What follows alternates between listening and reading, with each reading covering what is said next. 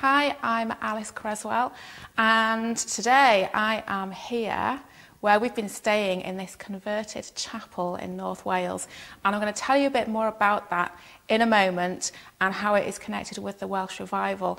So, I want to talk about Evan Roberts and the Welsh revival and what led up to that amazing revival and outpouring of the Holy Spirit happening back in the day and what we can learn from that now and also some things that the Lord is doing because he is moving really powerfully still in the UK, in Wales, and I'm going to share some of that as well of, of present day move of God and and really how we can then pray into and position ourselves for this coming move of God that we are seeing beginning to develop now right across the world. And then um, I want to pray for everybody as well. So keep watching to the end, and I want to pray for you, pray for all of us, for the Lord to move again. Now, in my recent video, we were actually on Bardsey Island in North Wales, and I was sharing how we, you know, how we're setting up our miracle cafes, and me and Rob, my husband, we know we're just following the Holy Spirit, and we've left our home and we're going wherever the Holy Spirit sends us to help set up more miracle cafes around the world. And while we're waiting, you know, for the next miracle cafe to get ready for us, you know, to need us to go there and help them get launched. Um, we, what we didn't realise is we'd just been following the Holy Spirit and finding the cheapest places to stay for a week here, a week there. And amazingly, you know, I was sharing this in the last video, how we ended up following the Pilgrim's Way of, of North Wales. And we started in Holywell. We went near Bangor, where our cafe is, and then we ended up in Aberdaron and then on Bardsey Island. Well, what's really interesting is this converted chapel that was mentioned in the newspapers of the day in the Welsh Revival for what was happening here in this village. We just rented it, we got a really good deal with the owner, and we've been staying here the past two weeks. So tomorrow we leave. Um, so I just wanted to, while we're here, I thought it'd be a great opportunity to talk about the Welsh Revival. I've got Welsh heritage as well. Um, I might talk about that in the next video. Now, in the early 1900s in the UK, particularly in Wales, we're talking about here, which is one of the um, the countries in the UK. There's four nations in the United Kingdom, and Wales is one of them. And it's where we've been living for the past few years. Um, really incredibly, in the early 1900s, there were the beginnings of something, a move of God beginning to happen already. There were little rumblings, and there were meetings popping up here and there in Wales. People really getting hungry, getting full of the Holy Spirit. And then in um, 1904, there was a guy called Joseph Jenkins, and he was holding meetings in Wales where the Holy Spirit was moving. He was just one of these examples. There was this young lady called Florrie Evans, and she she just broke out in one of the meetings and she was like, I love Jesus Christ with all of my heart. And things started to begin from there. And then we have a young man who you may have heard of called Evan Roberts. He was from a, a, a, place in South Wales. Now, I don't speak Welsh, so I'm sorry if I butcher this, but it's Loughor. It's spelled L O U G H O R, and that was a little village that he lived in. And he would go to a local chapel, a church, but in Wales it's called chapels. He would go to Moriah Chapel as a boy and as he was growing up. And he was really fervent for the Lord and quite a serious young man. And at the age of 12, he went down to work in the coal mines, in the pits, which many people in Wales, across the UK, have done that even until recently. And but it was such a hard life. And from the age of 12, he was down in the pit. But he was continually, he had his Bible, he was praying, he was reading scripture, he was really spending time with the Lord, even doing mundane and difficult manual labor. And they would just get filthy black from all the coal. Um, and they'd be underground for, you know, from early in the morning till late at night. And he, he had such a heart for, for God and he was really praying, God, God send revival. We want to see revival sweep this nation. He prayed, apparently he prayed for 13 years or thereabouts. Reminds, reminds me of me praying for miracles before we saw it, you know, for about 12 years. You may have heard me mention that. I would pray, Lord, send revival. I want to see healings. I want to see miracles. I want to see dead people coming back to life. I want to do the things that I'm reading in the Gospels. And I would read books like on past revivalists like um, Evan Roberts and the Welsh Revival, and it really would stir me. And these stories that I'm sharing, let them stir your heart as I'm speaking because Jesus is the same yesterday, today, and forever. And he, what he did in 1904, 1905 in Wales, he wants to do again. He wants to go beyond that. This time, it's not going to end, it's going to continue while we're, we are in the end time harvest, end time revival. Now, Evan Roberts is a young man. He was, as I say, down in the coal mines. And after a while, he left that. And he really felt like God was stirring his heart and he was getting into his 20s now. And he felt like, I want to be, I want to go and get some um, Christian minister training. So he, he began that. He went to Bible school. He was only there for maybe about a year, something like that. And he, in the end, he, he left that to start at some meetings he would be praying. I'll tell you when he was born, 1878, and he died in 1951. So that gives you some idea. He was 26 in the year 1904, and he'd been praying for you know 13 years for revival, and he would pray things like, "Oh God, fill me with Your Spirit," and he'd say, "Oh God, send mighty revival." He was a bit of a modern mystic, really. Um, he would be praying all day long. Often he would fast, he would skip meals because he just wanted to pray and be with the Lord. When he wasn't praying, he was reading or studying his Bible or a theology book. Now, in 1904, there was a guy called Reverend Seth Joshua, and he was um, preaching at some meetings. And the young Evan Roberts was one of about 20 young people who went with Reverend, Reverend Seth Joshua this one time. And while they were there, the Reverend Joshua was, it, I've got a date here actually, it was the 1st of September 1904. And the Reverend was praying and he said, Lord, bend us. And I guess what he meant from that was, Lord, I, you know, let us let us just bow down before you. We surrender to you, Lord. Just take away, you know, not my will be done, but your will be done. Just come and, and bend us and do what you need to in us and through us and with us. The next morning, Evan Roberts said this. He said, I felt, because he still felt he was really impacted by Lord bend us, that prayer, something the Holy Spirit just grabbed him. And he says, I felt a living power pervading my bosom which I guess is like your chest. It took my breath away and my legs trembled exceedingly. This living power, he says, became stronger and stronger as each one prayed until I felt it would tear me apart. He says, I fell on my knees with my arms over the seat in front of me. My face was bathed in perspiration and the tears flowed in streams. I cried out, Bend me, bend me. It was God's commending love which bent me. What a wave of peace flooded me. Following that, he says, the salvation of the human soul was solemnly impressed upon me. I felt ablaze with a desire to go through the length and breadth of Wales to tell of the Saviour. Wow, he was just so um, full of the Spirit of God and the real compassion of God for souls of people that don't know him, for his lost children. And suddenly, Evan was like, I just need to get out there.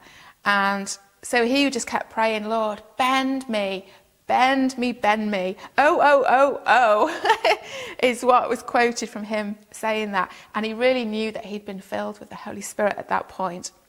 Now, he began to have visions, and he was having visions of 100,000 people getting saved in Wales.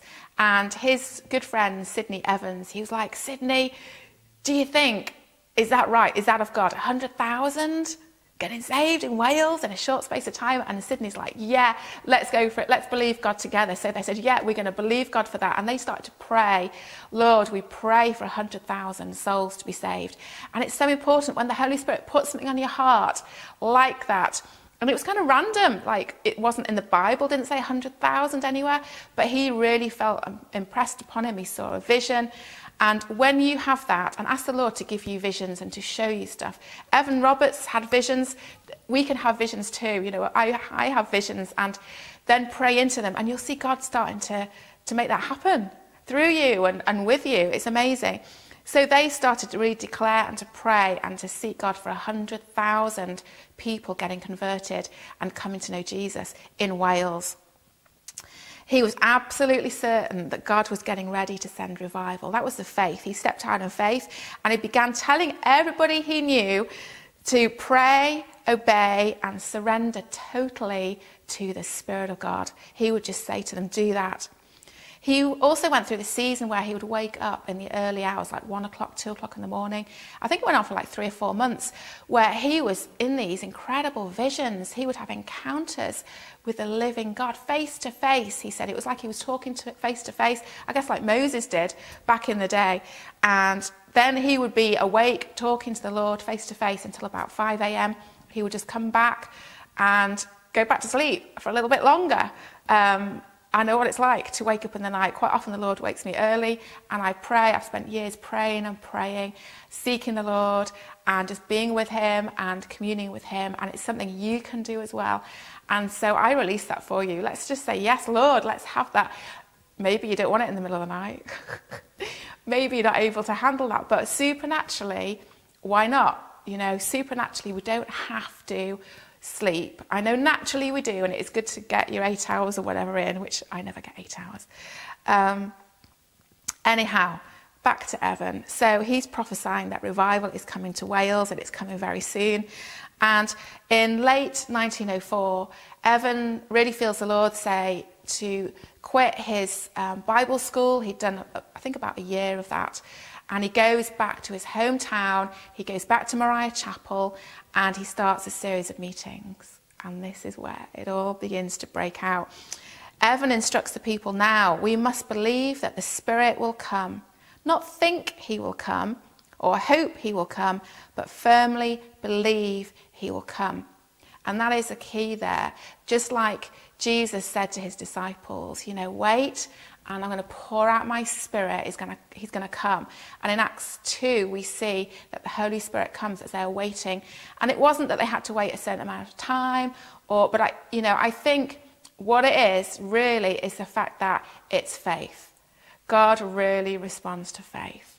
It isn't doing something because someone's told you to do it or because you know you think it might be a good idea or whatever, trying to do it religiously, you know, it happened with them, so I'm going to do exactly the same. You follow the Holy Spirit. And obviously, with, with, with this revival in Wales, Evan Roberts was following the Holy Spirit, and he knew without a shadow of a doubt that revival was about to come, and that they were, they were really, he said, don't just believe or think, but firmly just know that the Holy Spirit is coming. And obviously, it raised people's faith and expectation. And then what happened? The Holy Spirit comes powerfully in those meetings and he just sweeps through. And it says you know the church was crowded. Many were crying aloud in prayer when suddenly a powerful sound in the distance was heard as god's presence entered and filled the building. Evan himself led many of the meetings which were often characterized by cries of mercy weeping laughing dancing, joy, singing. There was so much singing, and that was one of the main characteristics of the Welsh revival was the incredible Welsh voices singing in Welsh in their own language and praising the Lord, praying. There was brokenness, there were people lying prostrate on the floor. You know, local newspapers reported 20,000 conversions within the first five weeks and 85,000 conversions within four months of Evan beginning these meetings, these meetings in Moriah Chapel. A lot of it was young people. The young people were leading it. But when I say leading it, Evan was really careful. He wanted the Holy Spirit to move in power and he didn't want to get in the way. So he was really careful not to, to you know, just to take authority and to do what he thought. Um, he did whatever the Holy Spirit told him to do. And very often he would not even preach. And it would have been really easy for Evan Roberts and others around him to, to kind of wade in and say, okay, this is what we're going to do. And, but he really was careful to hold back and say, no, we're going to let the Holy Spirit move. After it began in Moriah Chapel, it moved to other places. It moved to um, Aberdare, was the next place that week that Evan went to. Uh, that's where my family on my father's side are from Aberdare. And in the next video, I'm going to share some more about my heritage and what happened there in Aberdare. But it went to other places. It went to other places in the, in the South Wales, in North Wales. It really began to spread right across the UK and other nations as well. But the whole time, Evan was careful not to take control of the meetings, and that is something we need to learn. That we don't want to get into, well, it's worked like this before, we're going to do this. We're going to kind of, um, I don't know, try and do something to get the Holy Spirit to move. What happened with Evan was he got to a position where he was like, Lord, bend me. Not my will be done, yours, you come. I surrender. And that's where we need to be, in that place of total surrender, because that is when the Lord will come powerfully. And, you know, we are so on the brink of a major, major move of God.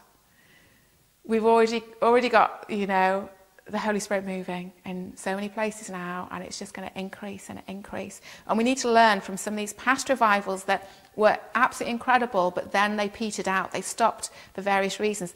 This revival, you know, we don't want this to stop. This is just going to increase and increase. And we're going to have thousands and hundreds of thousands and millions of people being swept into the kingdom of God and being discipled. And that's what this is all about. But supernatural miracles this time. We, are going to have so many miracles and healings increasing. I'm going to tell you about some of those in a moment and what is already happening these days that we're living in. A lot of young people in the Welsh revival, again, we're seeing young people come into faith. Um, someone said they felt the universal, inescapable sense of the presence of God in the meetings. They couldn't get away. They were drawn. They didn't even have to advertise the meetings in all these different places. They were springing up. You know, it wasn't just Evan Roberts going places that to speak or to lead the meetings. It would just break out in, in lots of different chapels. Mainly in the chapels is what the Lord was doing in those days in 1904 to 1905. But also out and about as well in the pits in the coal mines. Incredibly, you know, we hear stories of the pit ponies, the, the horses down there, that, that would be working in the mines. They were used to people's foul language, being, and they were being told and shouted at and kicked to do what the men wanted them to do in the mines. And suddenly, all these people were getting converted. The, these miners were getting converted, and they stopped their bad language. They stopped shouting and kicking these pit ponies. And so suddenly the pit ponies didn't know how to respond. And, you know, we, we read about the, the pubs, the public houses, they called them, we call them pubs or bars, were, were empty. The theatres were empty. The chapels, the churches were packed full of people that were having outdoor meetings because they could not get into the chapels. Many chapels sprung up, you know, across the whole of Wales. And just people's lives were dramatically changed. They were having meetings where, in the meeting, you know, there would be somebody would start a song, a hymn, and they'd all join in, and you can just imagine it, can't you? And um, people were getting saved in, and converted in the meetings. Um, people were coming from across Wales, across the UK, across the nations to the Welsh revival. One local reporter wrote that Though a thousand or two would often attend the services, order reigned. He says the meetings were absolutely without any human direction or leadership. We must obey the Spirit, is the watchword of Evan Roberts, he said. Three fourths of the meeting consists of singing. No one uses a hymn book. No one gives out a hymn. People pray and sing, and they give testimonies.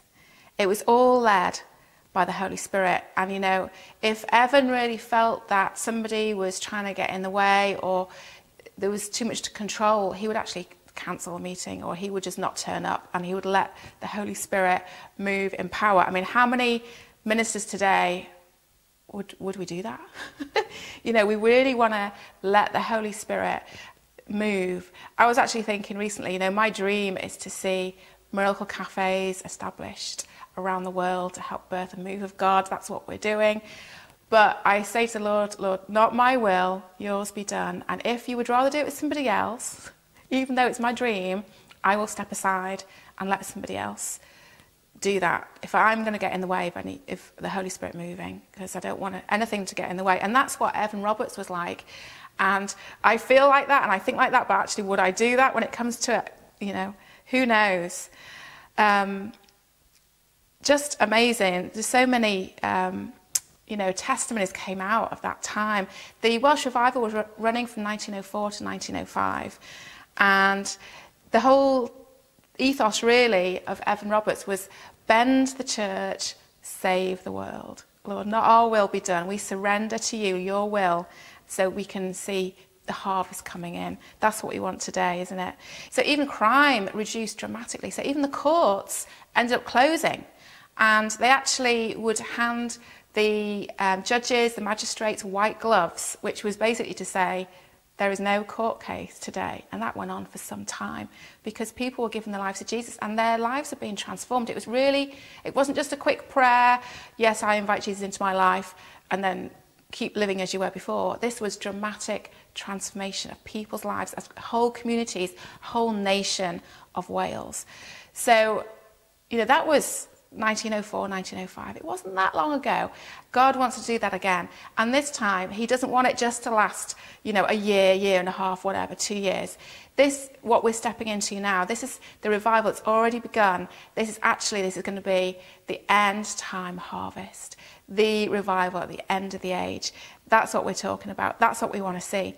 So 100,000 people were converted in Wales at that time. And the drinking, people stopped drinking, there wasn't the crime, theatres were deserted because everybody was down at the chapels, the churches, and they didn't even have to advertise services. What they did was very often, I've, I've read this, where people would actually see a light on in the chapel and they would know that the presence of God was there and they would go down there. And it wasn't, it wasn't lights, it wasn't like electricity or anything, it was the light of the Holy Spirit would draw people. And so they would all start coming from the town into that chapel, into that church, and the meeting would commence, and it would go on for hours and hours. Um, in a, there's a Wrexham is not too far away from here, where we are at the moment. In a Wrexham newspaper dated January 1905, it says, largely attended meetings are held at Cynwyd. And March 1905, that's a little town in the north of Wales. March 1905, it says, No place in Wales has undergone a greater transformation than in Cynwyd. There are four public houses, pubs, but they are now practically deserted. Well, guess where we are staying right now? We've been staying in this converted chapel in Cynwyd, North Wales. We've been here for two weeks. We just found it on the internet, got a really good deal for, for a couple of weeks. And as I was saying, you know, we are following the Holy Spirit, opening miracle cafes, working with people around the world to open miracle cafes and start spirit lifestyle classes. But we're sort of in between, you know, waiting for the next one and not knowing where, where should we live. So just looking around, literally just looking around for really the cheapest places to stay, not too far away, you know, and we end up here.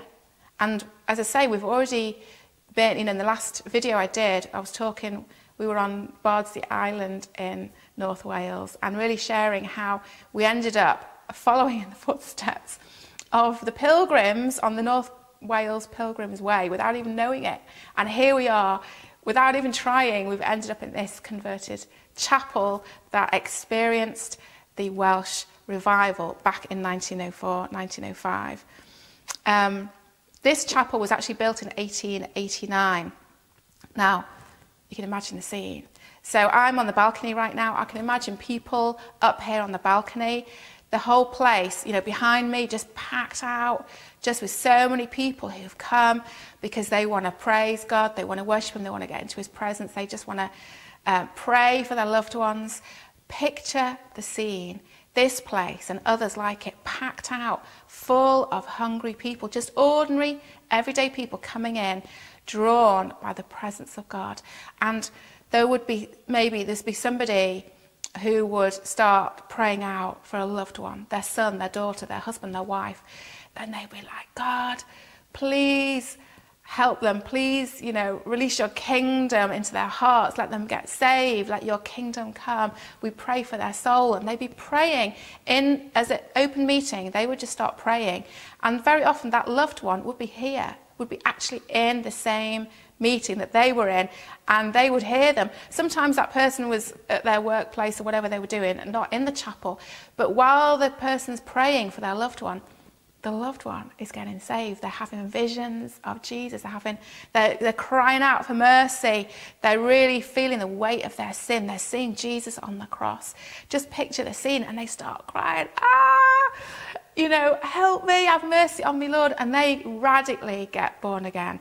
And then in the midst of the meeting, they start praising the Lord. And then everybody erupts, and the sound of the singing of those Welsh voices singing in the Welsh language, just praising, glorifying God. Just begin to imagine it. And then somebody reads some scripture, and then somebody shares a testimony of, until yesterday, I was a drunkard, I was out on the streets, I had no hope, whatever, you know, all these things. And people are like, I've met Jesus and my life has changed and I praise him and I, I'm not a criminal anymore. I'm, I'm back with my wife, my husband, whatever. And this is what happened, just not just one, not just two, but hundreds and hundreds and thousands, a hundred thousand converted, giving their lives radically, getting saved, giving their lives to Jesus in a short space of time.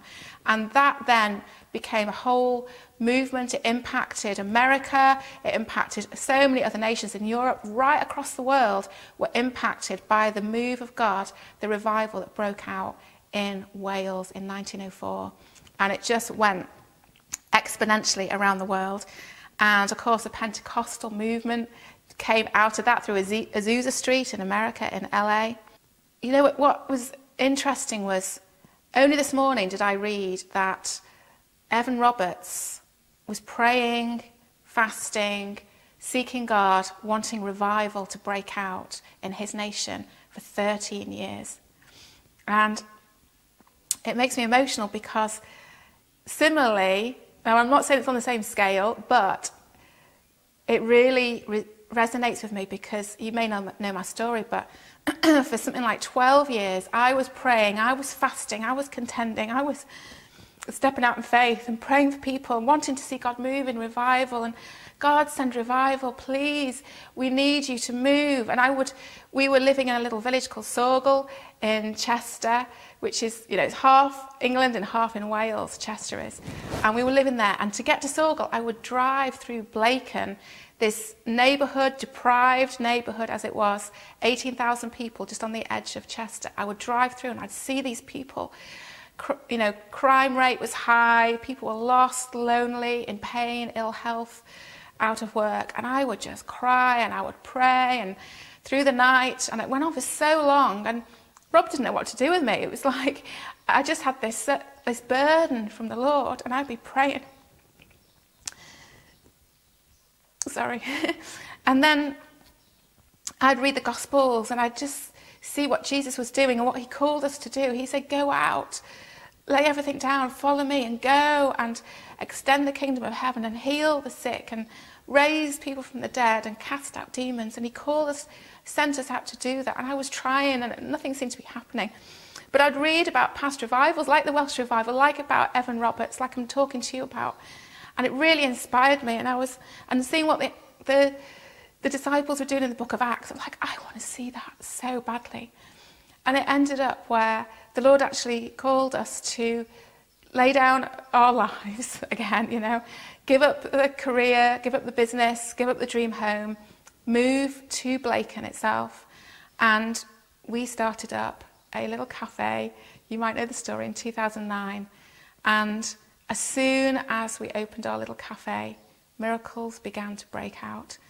Revival came to our little, little community of Blacon, 18,000 people, into you know, the edge of North Wales in northwest England in 2009 and just really took off. Hundreds of people literally giving their lives to Jesus because of supernatural demonstrations of the gospel.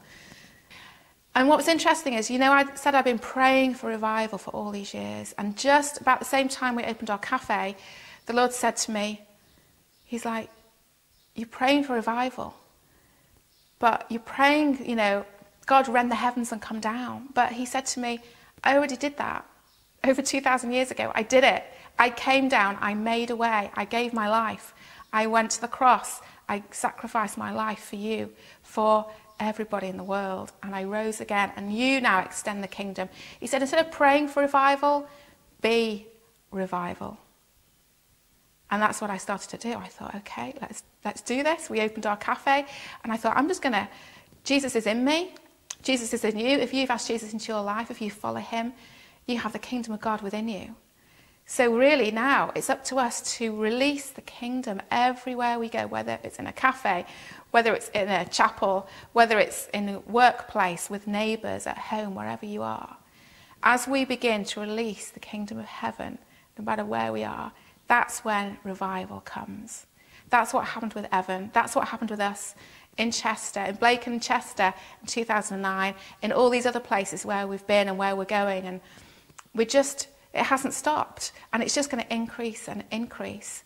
But that is a real key. It's the, like Evan was just praying and praying, and he then stepped out in faith. You know, he started those meetings in faith and gave up his um, Bible college in faith because of what God had shown him and spoken to him, and he knew it and he stepped out. So, really, Lord, we pray for everybody watching that you would speak so clearly to each one of us that you would ignite the passion that's in our hearts, what you've put on our hearts to do, what you've called us into. Lord, that you would help us to surrender everything, to lay down everything that we can to follow you, and that you would speak so clearly, Lord, that we would know by faith what we need to do next and we would step out. And it's going to look different for everybody. You don't necessarily have to start a cafe, you don't have to go to a chapel and start meetings like Evan did. But whatever the Lord puts on your heart to do, do it with all your heart, with all your might. And, you know, just talking about the singing and the amazing um, feeling, what it must be like in those meetings in the Welsh Revival, as the singing, the praising, the worshipping, and those new converts.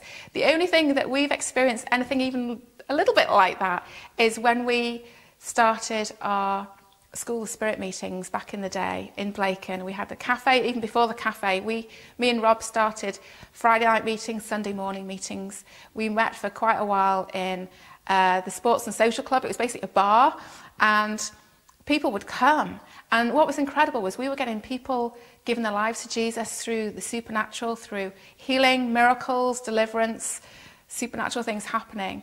And Rob, who led worship most weeks, he put together a song based on an old hymn called Blessed Assurance. And I'm going to play it in a moment for you, and then I'm going to come back and pray for you. So basically, the, you'll know the chorus probably um, from this old hymn, but he wrote verses, and it was based on some of the people that were given their lives to Jesus in our little cafe. There was Matt and Mark. They ended up um, getting pulled into our cafe by an angel. They, they were only young two guys, and they ended up getting radically saved, and we baptized them in a paddling pool in our garden.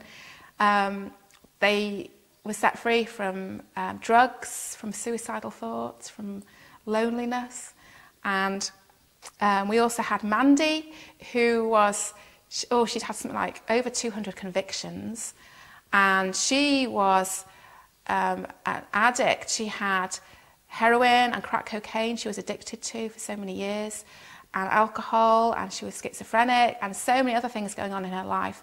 And one day, she didn't even know our cafe was there. Um, she hears a voice when she was trying to get some drugs. She hears a voice saying, Go to the cafe. She comes to our little cafe. She gets radically saved as well. and there was Kieran. He was the first young man, her first person, but he was a teenager at the time, who he got healed that's when the miracles broke out, when we prayed for his broken ankle, which got instantly healed. He's in the song as well. And of course, Terry Fingers, you may have heard the story, where he had a glass in his fingers from climbing into, like through a broken window years before. And the glass got embedded in his fingers. And that came out supernaturally. He ended up giving his life to Jesus as a result as well. So Rob put together um, the, you know, the song that you're about to hear. And what was incredible was he and the, our band were there playing the song. We're all singing it in School of Spirit meetings, packed out meetings, and those new Christians were in there singing and, and praising God of what has happened to their lives. They're joining in with these songs. So um, that, was, that was so cool. So I'm going to play that for you now. So watch this, and then I'll come back and pray with you.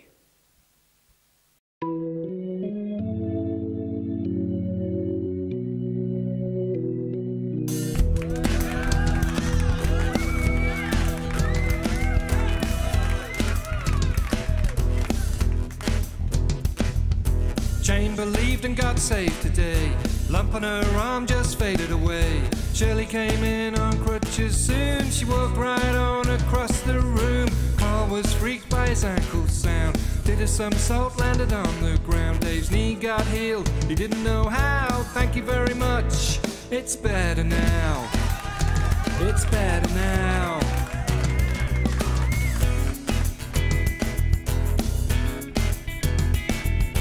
Matt and Mark, bought Bibles. Got saved, baptized, became disciples. Pete got a skin graft, Kieran got a fright. Mel transported in the middle of the night. Terry came in with his fingers in pain. Glass come out in Jesus' name. Next day came Terry with a story to tell. Glass in his foot came out as well.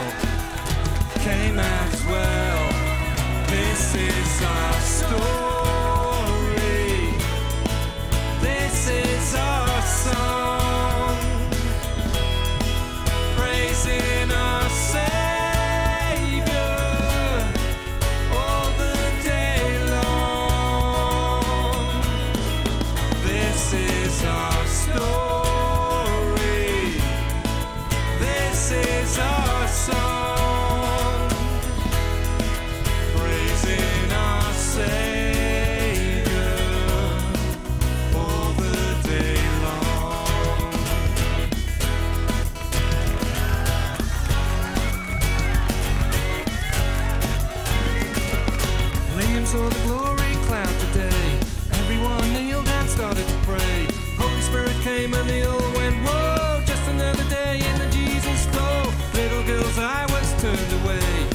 Said, Jesus can heal it today.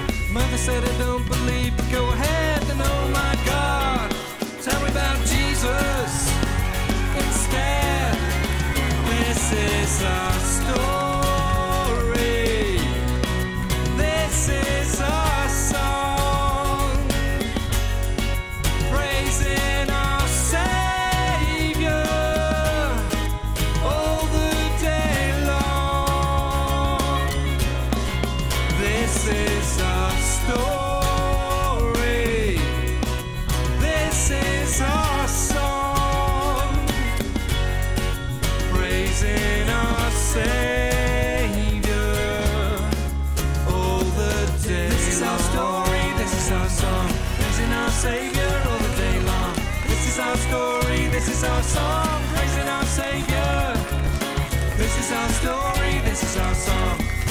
Savior all the day long. This is our story, this is our song, praising our Savior. This is our story, this is our song, praising our Savior all the day long. This is our story, this is our song, praising our Savior. This is our story, this is our song, praising our Savior all the day long. This is our story, this is our song, praising our Savior.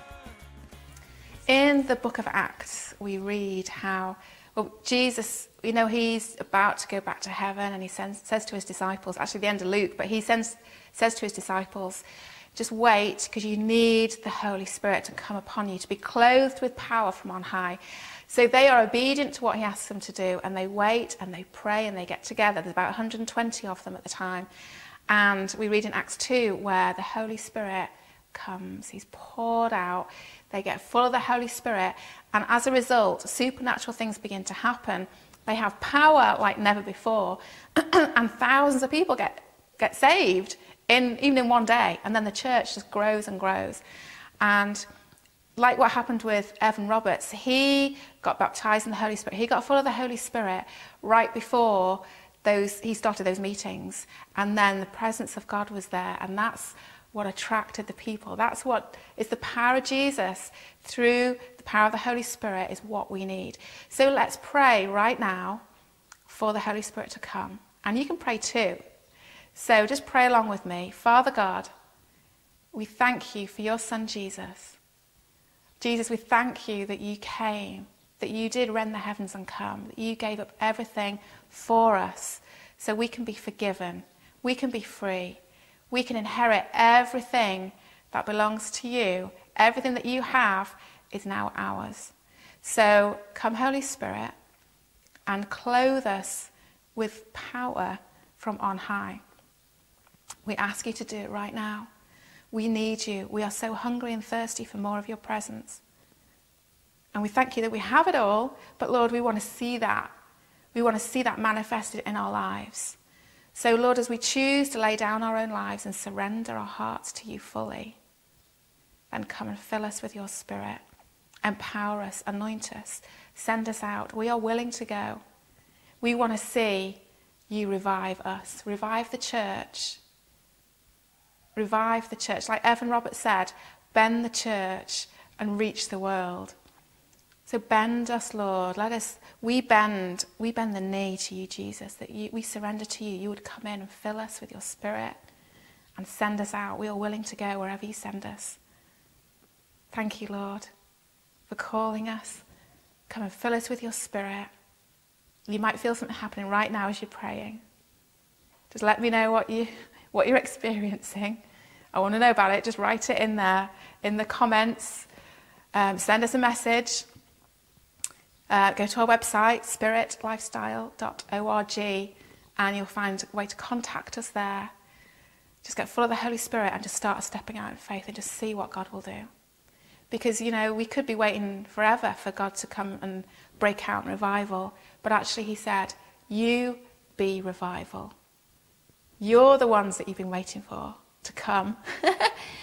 Let, as we step out and do what God's asking us to do and just give of ourselves and reach out to others through demonstrations of God's love and His power through the Holy Spirit, that's when we're going to see revival come to the whole world and the harvest come in. So, thank you for watching. And on the next video, I'm going to be sharing more from this place in Cynwyd, from this chapel. I'll share some more of my Welsh heritage and some more of the Welsh revival and pray for you again. So, Stay tuned, watch the next video, and I'll see you soon.